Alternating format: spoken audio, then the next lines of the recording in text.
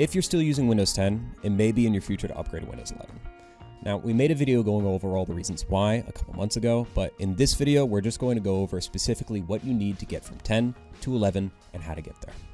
Starting off, system requirements.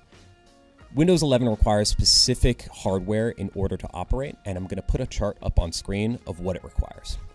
If you see a few categories here and you feel like you exceed them, you should be good to go. But if you don't know, don't worry. PC Health Checker has a tool within it that will let you know whether or not your PC is compatible with Windows 11. One of the most common issues folks have when trying to upgrade to Windows 11, especially when it looks like all of their hardware meets the requirements, is TPM 2.0. Luckily, there's a way to enable this in your BIOS. In order to get to your BIOS, you're going to have to reboot your computer, and while it's booting up, mash away at either your F2 key or your delete key. This is different from motherboard to motherboard. One of those two keys should work, but if it doesn't, you may need to look up for your specific motherboard what your BIOS hotkey is. Once you're in your BIOS, you're going to want to use your keyboard to navigate, specifically your arrow keys, your enter key, and your escape key. Now, this process is a little bit different from motherboard to motherboard, BIOS to BIOS, but right now we're going to go over how to do it for an ASUS motherboard. The BIOS on the Z690 Asus motherboard will also let us use the mouse and search bar, but we're going to navigate manually so you can follow along. I'll also provide alternate names to each setting just in case yours is named differently. Enter Advanced Mode slash Settings. Navigate to Security slash Advanced. Navigate to Trusted Computing and hit Enter.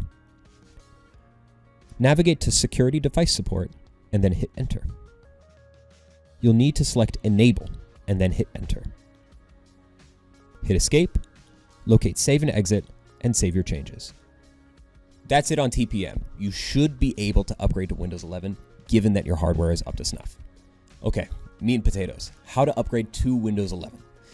Before you begin, you're going to want to back up all of your files. Now, when you upgrade to Windows 11, all of your files and applications are going to be there but this is just an extra measure to take as a precaution if anything goes sideways. All right, starting off, click on the Windows button, select Settings, then Update and Security. You can also simply type Windows Update in the search field. You should be able to see if you can update to Windows 11 at the top of this page. It'll be a large download. If Windows Updater doesn't provide you with a method to download or install Windows 11, you may have to go to Microsoft's website and download the Windows 11 Install Assistant which is really just the Windows 11 installer. After the download, it'll verify the files and begin the install, after which it will restart in 30 minutes of waiting, or you can click Restart Now to start immediately. Believe it or not, that's it. Thanks so much for watching.